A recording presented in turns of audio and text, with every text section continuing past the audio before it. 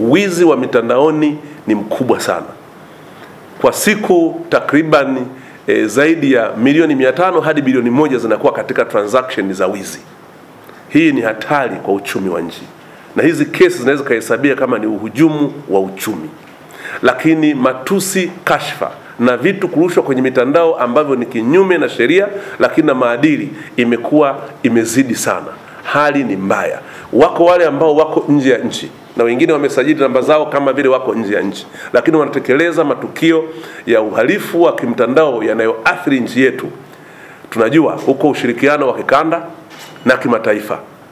Jeshi la polisi tunashirikiana na wenzetu huko, vyombo hivi vingine vya ulinzi na usalama, uhamiaji, tunashirikiana na wenzetu huko. Tutumie mashirikiano haya kuhakikisha kwamba hao wote wanaotekeleza uhalifu wakiwa nje ya nchi wanatafutwa, wanakamatwa na wanaletwa nchini na wanafikishwa mahakamani.